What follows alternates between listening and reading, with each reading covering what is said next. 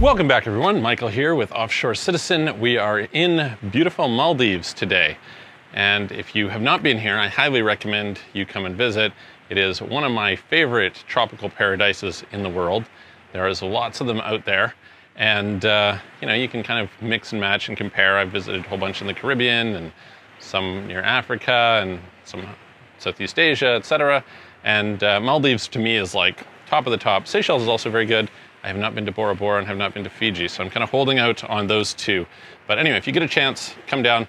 Uh, right now we have beautiful sunset, which is coming. I was hoping to record earlier when uh, you can see the beautiful turquoise water, but it turns out that uh, it's very hot to sit in the sun and record even now. So anyway, uh, thank you for being here. Uh, welcome. If you are interested, we're talking today about a subject which one of my staff was suggesting bringing up. And this is one of the reasons that I'm here in Maldives today, so it's kind of fitting to have that. And this is the subject of work-life balance. So as we travel the world, as we go and we relocate to other places, as we do business, as we look at all that sort of thing, uh, this is frequently something that comes up. And so I think that people misunderstand work-life balance from a very practical standpoint, and I'm going to share a few thoughts of my own, from my own experiences, and I would love to hear your thoughts on it down in the comments below. I will share, uh, share a few different things that I've heard from a few different places as well to contrast them and dive in. So let's go and do that. Before we do, if you haven't already, please hit the subscribe button, hit the all notification bell. For those of you who are new here, welcome. I'm Michael. Uh, the Offshore Citizen team are some of the foremost international tax and relocation specialists. So we help people to do international tax planning for themselves and their businesses whether they're going to stay in their home country or relocate abroad. And then, in the case of relocating abroad, figuring out what the best place is and assisting with that, as well as when it comes to the tax planning, helping you to form companies and open bank accounts and do the planning around it, etc. So if any of those things are interesting to you, please reach out to us. You can book a call with me, calendly.com forward slash Michael dash Rosmer. There's a link in the description below, or send a message through offshorecitizen.net. Okay, so work-life balance. Um, I hate the term work-life balance. It uh, I guess to me, it sort of implies something that I'm not especially fond of, which is maybe like leisure, insufficient push, a set of values that I kind of say are like wrong thinking. And so let's talk about it from the values perspective, first of all. So, a little bit of brief background on me. I uh, started my first business when I was in high school. It was a computer company. And for you know a long, long time. My father is an entrepreneur, although not a particularly successful one. And you know, part of what I wanted to do growing up was to have the opportunity to pursue things that I like to do. And I viewed work and business largely as a means to an end in that regard. Okay, so my basic idea was all right, I'm going to work as little as possible in order to have enough money to go and do the things that I want. And later on, I got kind of interested in passive income and starting other businesses and stuff like this. And after a few years, I had kind of like my first experience of passive income working very, very little. I don't remember how much it was at the time, but very, very little. Uh, certainly no more than a day uh, per week worth of actual input time. And at the time, what I learned was this pretty valuable lesson that shaped a lot of my views after that. And this was the idea that, well, you have to do something with your time. And I think a lot of people pursue freedom. I think freedom is actually a, quite a bad goal. I'm not a, not a big freedom fan uh, because I think it sort of misplaces the whole objective of what you should be paying attention to. And that is, hey, listen, you're needing to spend your time on something. So what's more important than having freedom or passive income or any of those sorts of things is what are you spending your time on? That is the key, most important thing. And if you're spending your time on things that you feel to be meaningful. I'm not going to say that you enjoy, because I don't think I think enjoyment can be somewhat overrated and kind of is also a mislabeled term. Um, but you find meaningful, then great. It doesn't matter if you're working a lot or little or whatever. You know, freedom from what? Freedom from doing a thing that you you know find meaningful. That's crazy. You know, so that should be the fixation. And it turns out it's like probably a better fixation because what I find with a lot of people is they get into this sort of apathetic sitting around not doing much interesting. And I mentioned on this channel a bunch of times before that I find wealth is wasted on wealthy people. A lot of people make a bunch of money and have, frankly, no good ideas. They don't have a lot of cool stuff that they're doing with their money. They might end up being, you know, wealthy person in the graveyard, but who cares, you know? And So I think pursuing things of meaning are important, and then those things that you're pursuing of meaning, you should pursue with gusto, right? With like your whole heart and soul into it. There's kind of this concept that Nassim Taleb talks about, which is, you know, skin in the game, but then even soul in the game, right? Soul in the game is even better. And so work-life balance to me often implies that people want to get away from what it is that they're doing. And I certainly can appreciate that. I have at times worked jobs that I was not particularly fond of and I wanted to get away from them. And the objective, like I said, was to minimize the time. But I think it's a symptom of a root cause that should not be addressed through work-life balance. It should be addressed by working towards something that you're putting your time into which is meaningful. For me, those things that were meaningful happened to be in my leisure time, my time outside of work but it's great if they can be in the work as well. So that's sort of like the first context is I think our objective should be to do something that is meaningful and when we're doing something that's meaningful to us, we probably don't need so much work-life balance in general. The second is if you want to achieve success, generally the idea of balance is not really how you do it. So I noticed years and years ago that a trait that tended to correspond to business success was, was aggression.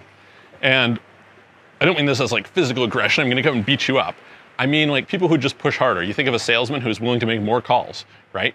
You think about per a person who's just willing to follow up more aggressively, be more on top of it, like just, you know, they're just the execution gap is tighter, they're putting more hours in, etc. Now, there's a lot to be said for working smarter, not harder. That's totally true. And that should also be part of the optimization journey.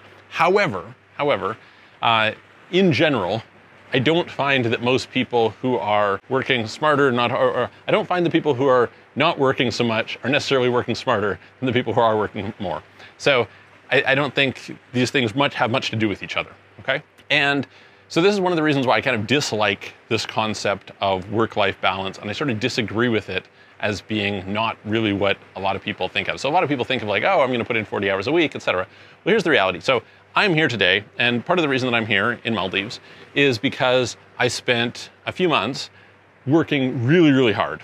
There was sort of a period a few weeks ago that I kind of was at the end of a bunch of deadlines, and I was pulling close to all-nighters. I'd be up till 8 in the morning uh, or thereabouts, sometimes on calls, sometimes working on things post-calls, etc., kind of preparing for a bunch of things that were going on in some of my businesses, etc.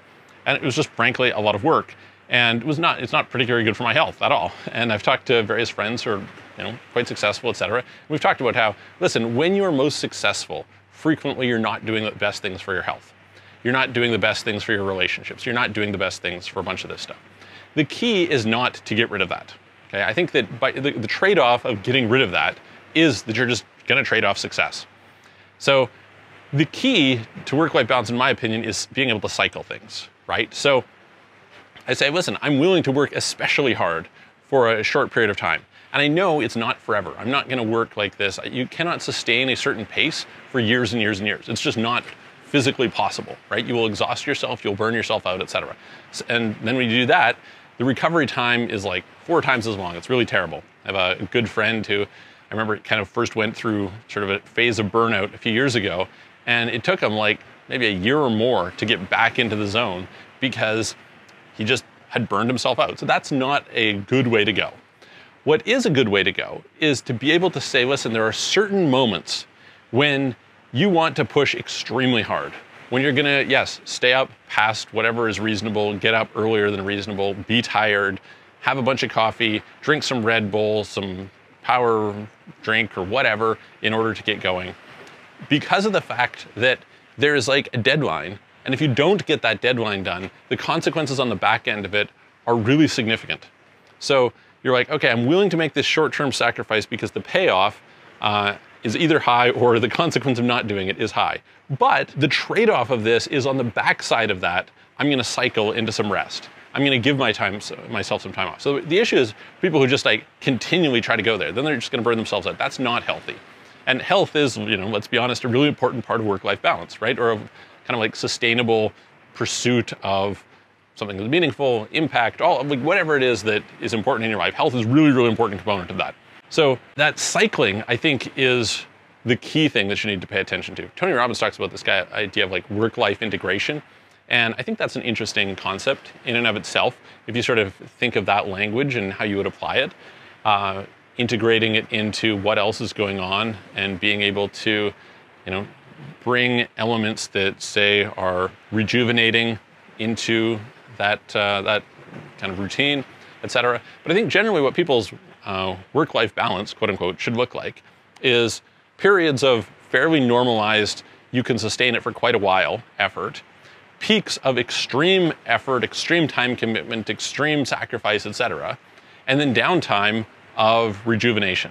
And that's, I think, quite healthy. I think I, I, there's probably a lot to be said for biomimicry, right? You go and you look at bears go and hibernate in the winter, right? We have four seasons in a lot of parts of the world. There's a season where you're planting and there's a season where you're harvesting. And there's a season where you're not doing a whole heck of a lot.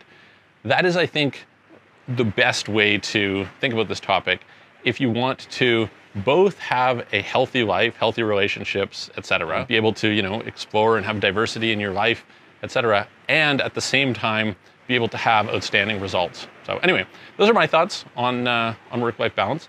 It uh, clearly could be, you know, not right for everybody. I don't know the answer to that, uh, but certainly for me, having gone through different attempts at figuring out this puzzle, that is, I think, the most viable long-term option. And that probably even cycles over the seasons of your life, right? There's a period of time where you're gonna spend a lot of time learning.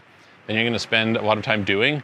Then you're probably gonna spend a lot of time teaching other people and going on to the next phase. So let me know what you guys think. I would love to hear your comments. Put them below and I will see you on the next video.